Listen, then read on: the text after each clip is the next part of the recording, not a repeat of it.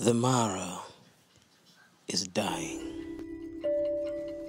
The host community that has protected and coexisted with this sensitive ecosystem while relying on tourism and livestock trade now faced with the devastating impacts of corona pandemic on tourism and declined demand for animal products has now resorted to coping negatively if only to survive. The Maasai community is now cutting down trees in this sensitive ecosystem to burn them for charcoal. Having seen this and projected the irreversible destruction of our ecosystem that is placing our community in a collision course with an eco related economic catastrophe. Two friends have come up with a solution to intercept this destructive path. For centuries now, the Maasai people have been using spices and herbs not only to give their food rich flavors and scents, but to also improve their health and heal ailments. Citing one example of all the tribes in our country, it is the Maasai that consume the largest quantity of red meat per person per year, and yet they have the least recorded number of health related problems that are connected to high consumption of red meat. Thanks to these spices and herbs, these spices have remained a guarded secret of the community and have never been commercialized. The sad thing, though, is that despite their rich flavors and scents and high medicinal values, these spices are now threatened. The trees that produce some of them are the same that are now being cut down to be burned for charcoal.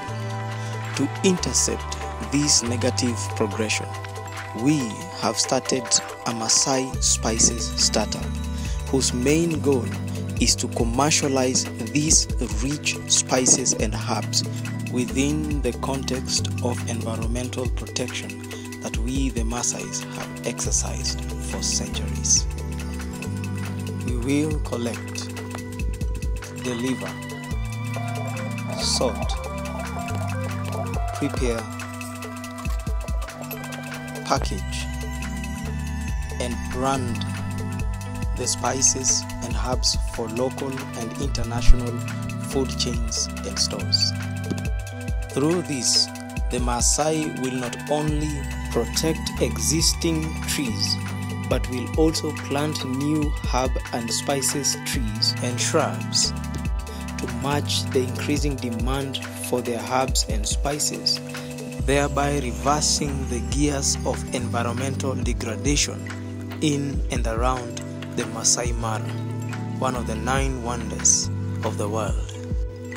There are 1.3 million wild beasts in the Mara, and for each, we are seeking to raise $1 per wild beast to go into our spice initiative, which shall in return protect the sensitive Mara ecosystem.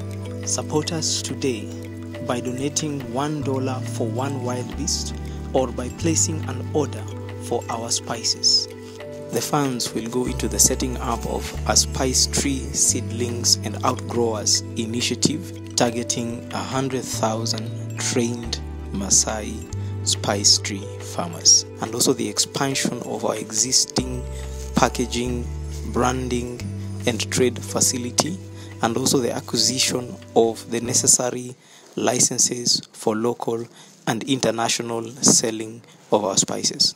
We are also looking for partnerships with industries that would use our natural flavors and scents in food and also with industries in the alternative medicine industry that would use our herbs for medicinal use. Hi, we are inviting you to join us to bring Maasai spices and herbs to the world and while at it, save Maasai Mara.